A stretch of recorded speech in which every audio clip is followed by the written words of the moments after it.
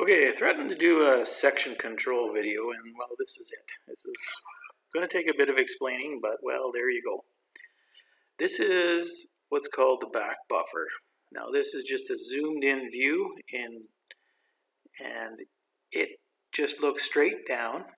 And so the section itself, this is a double section, it's basically sitting in the middle of this. And as we move, here as this moves, of course the image moves. And you can see if we take a take a snapshot of this area, for example, area in front of the, the tool, we can see the areas of pixels that are mapped and those that aren't mapped. And there, this line here, that's the boundary as it goes by. If we make these one color of green and the boundary another color and the headland another color, what we can do Let's turn this guy on. There you can see that as we're driving, we accumulate. So you can see it's like right there. A little higher. Right there is where the, the tool is. And so our point of interest is what's coming up. Because if we're trying to do a look ahead and anticipate turning the sections off and on, all we do, and this is a 500 by 500 pixel window, is we take as wide as the tool is, we take a snapshot of that picture or what's there, what's green, what's black, and then now we can use that to determine whether or not to turn the sections off. So if we whip around the corner here, you can see that the section shut off because it's applied. Now the look ahead sees this area ahead of it and knows that it isn't applied, so therefore it'll turn it back on. So that's the whole premise, is we can see it here, well, so can the computer. We take that area, and it's called the uh, read pixel buffer. We just go back and we read what's in OpenGL, and that becomes an array of, uh, of pixels.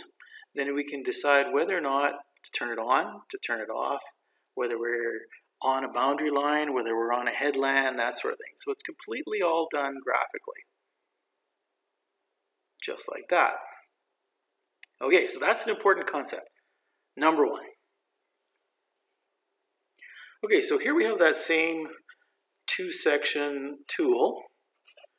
Now, if we are traveling at three and a half kilometers an hour, which is coincidentally one meter per second, and our look ahead forward is two seconds, then we should look forward two meters.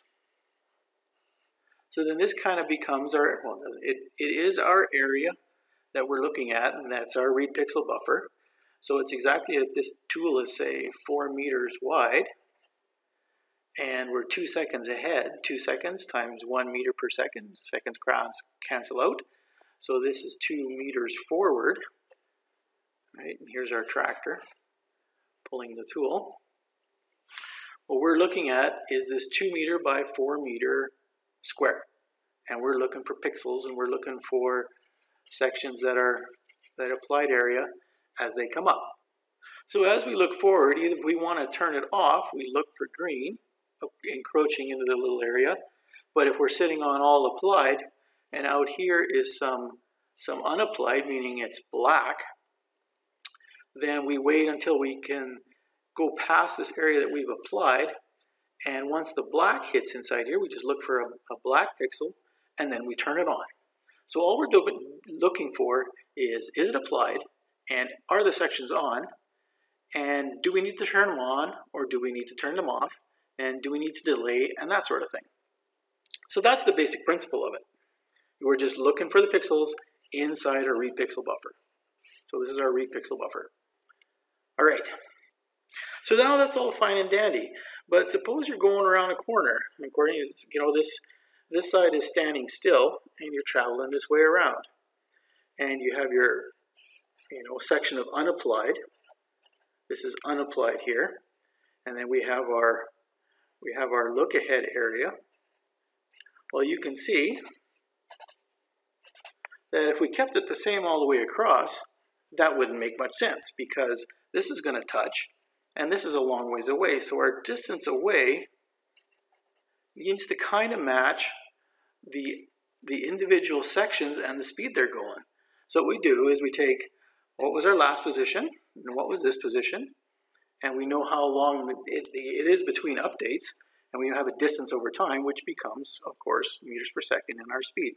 So we, we do that for this point, we do that for this point, we do that for this point, and now we have a speed of these individual parts of the section. Now, if we only had one section and we were turning really sharp and the center was going backwards, or sorry, the center standing still and the front's going back and forth, well, you can't just average the two because now your speed, if this is going 2 meters per second forward and this one's going 2 meters per second backwards, our effective speed is zero. So now our look ahead is zero. Well, that doesn't work. So what you do have to do for each section is number one, determine the, the maximum amount of speed that you're moving and use that value. Of course, the outside of the boom goes faster. If this guy's going 4 meters per second and this guy is going 2 meters per second, the effective speed of this section is now 4. So we look 4 meters ahead. Same with this one. This one is might be going negative 1, and this might be going 2. So then our look ahead would be 2 meters forward. And this is the way it used to be done before. Now you can see a bit of a problem here. This part of the, the uh, section is actually moving slightly backwards, or suppose it was even standing still. What we really want is it to look like this. Let's draw it again.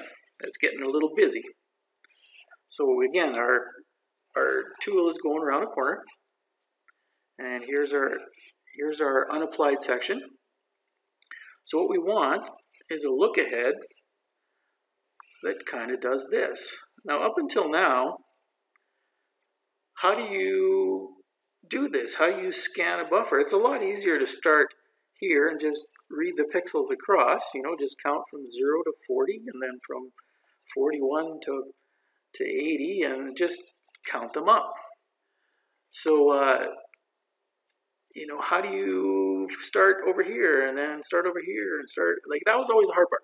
And so that's what's changed in section control now, is this, the, the line and the speeds match the actual tool position. So you really only have two, two speeds. You have this speed and this speed. Now, of course, you can't go below zero. So if it's going backwards, it goes from zero to, what did we say? Four meters per second over here. Now what we do is instead of, because the array counts this way, what we do is now we count forwards. And all we do is we take this speed, suppose it's um, 1 meters per second, and this side is 4 meters per second. If we know these two positions, and of course it's conveniently on graph paper, if anyone remembers what the equation for slope is, it's this it's rise over run. So what we do is we determine the slope of this, and once we've determined the slope of this point, and we know that we're, how wide was this? Four meters wide. One other important piece of information is scale. Now we have our pixel buffer, and our tool is four meters wide. Now, in order, one pixel represents 10 centimeters. And our tool is 4 meters wide, therefore we go from 0 to 40 pixels is equal to 4 meters of tool. So we have our dimensions now. Now we have our 4 meter tool, and this side's going at 4. So we have our rise over run. So now, based on halfway, we take 20 times our rise over run, gets us to 2. So instead of going across, now we just go up till we get across to the, the slope of the line, and then we look for area this way. So in order to go from this point in the array to this point in the array, and remember the array is 40 wide, if this is position 11, then the next position we go to is 51, 91, 131. Sorry, Yeah, 131.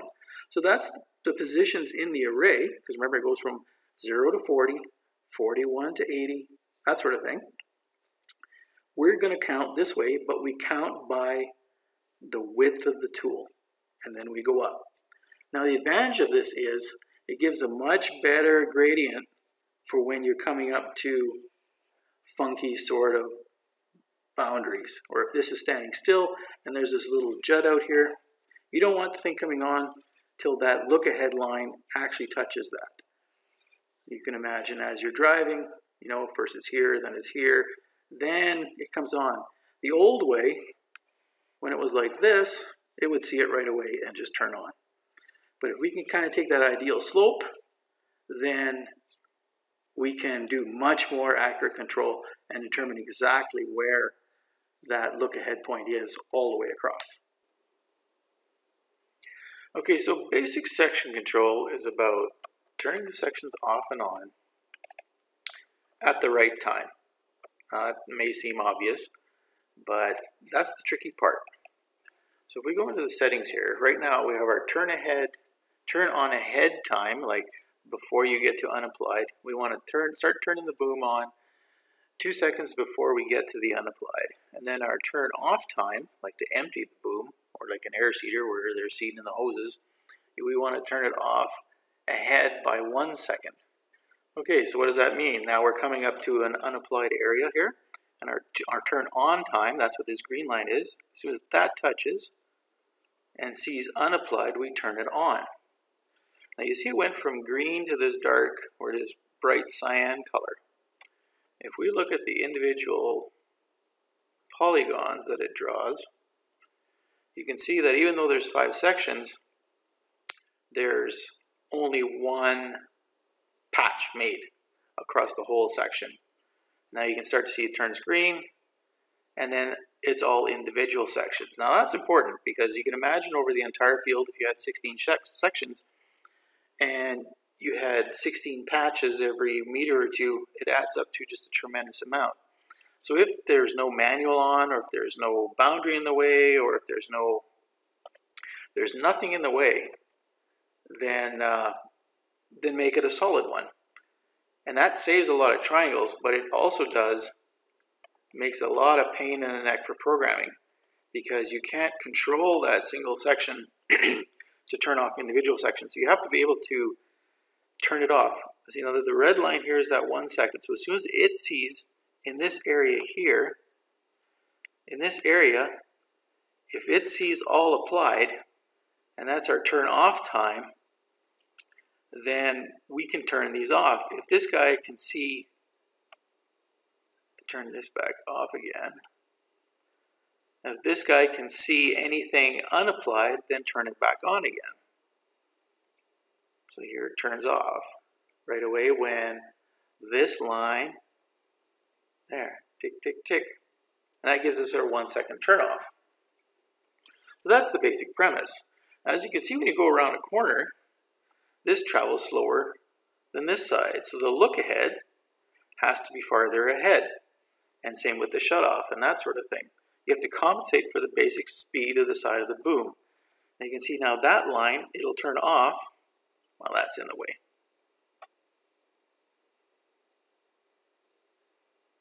Now if we go around this corner here, you can see that now turn it on. One, two, there's our two seconds on.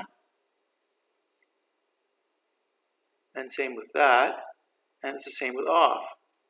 That's different than this side, which is going to look way up here, turn it on, because our two seconds now gets to that point before it turns off. And see that, it'll turn that guy on.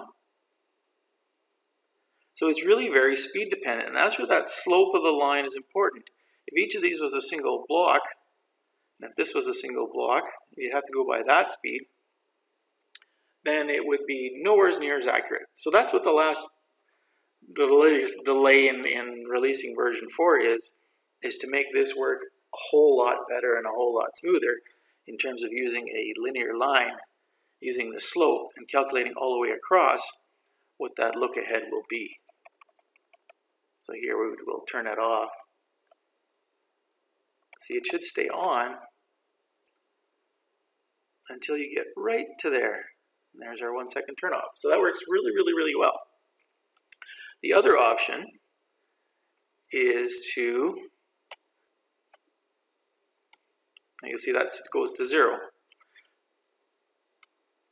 What a turn off delay does is it stays on for that one second, that extra bit of overlap.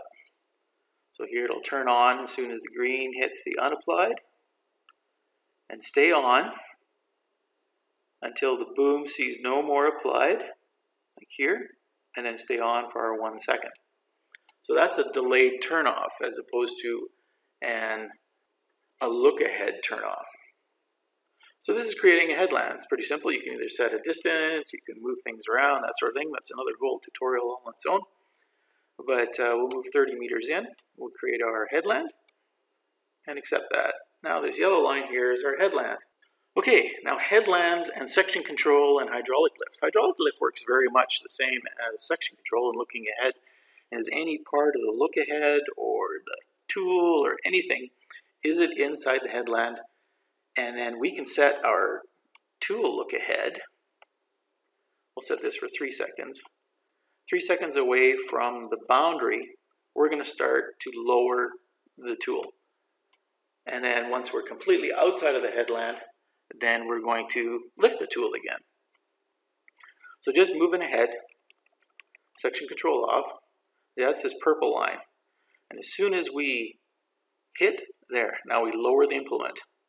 So by the time you get there, then the thing is in the ground and can start seeding or, or, or doing whatever it's going to do, till, whatever. So now we have three lines. We have our look ahead of the, of the, the hydraulic lift, we have our look ahead turn on and our look ahead turn off. So now we have three different sections and they all can slope and that sort of thing. And then as we drive out now,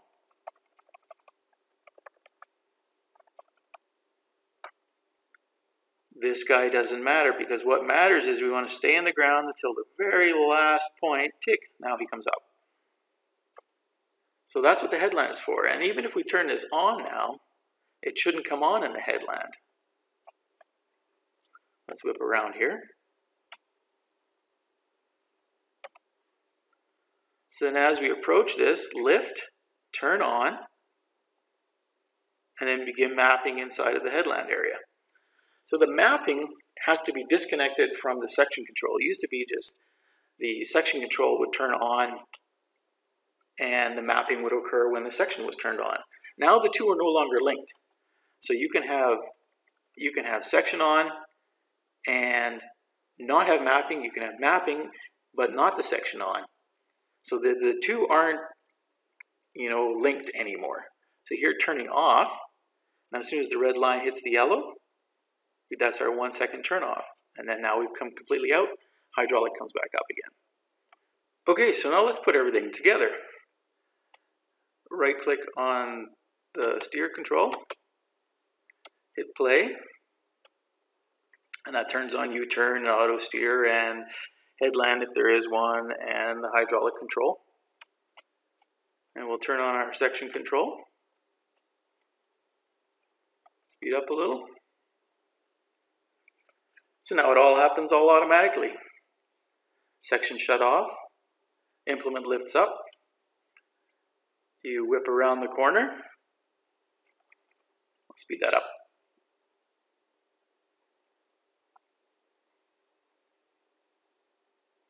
I don't know if I should leave these lines on or not. They're actually kind of handy.